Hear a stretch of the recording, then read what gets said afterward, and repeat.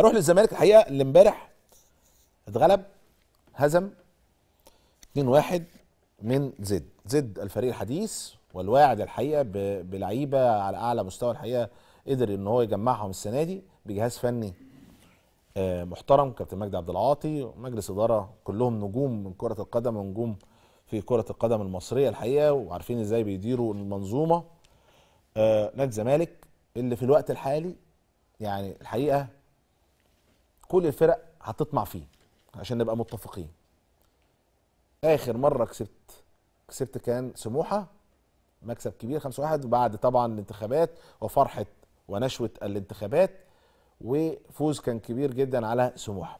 البعض توقع إن الزمالك قطر راح في حتة يعني ما حدش هيحصله بقى خلاص حتى وإنت بقى عندك مشاكل في الفلوس مشاكل في القيد لكن بعد الماتش ده ومجلس الإدارة الجديد الأمور هتنطلق.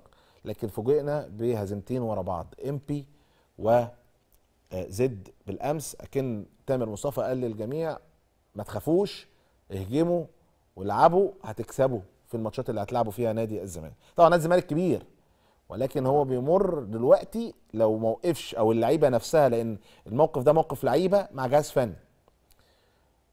وإن الأمور بالنسبة لهم لو ما وقفوش على رجليهم وثبتوا رجليهم كده لا الهزيمة دي مش هتبقى واحد ولا اتنين زي ما إحنا شايفين لا ثلاثة وأربعة وخمسة.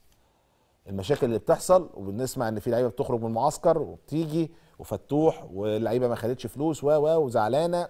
كل دي أمور. انسى كلعيب الحاجات دي. انت فكر في ناديك وفكر في اسمك. في الآخر هو اسم كبير اسمه نادي الزمالك. طيب عشان أبقى معاكم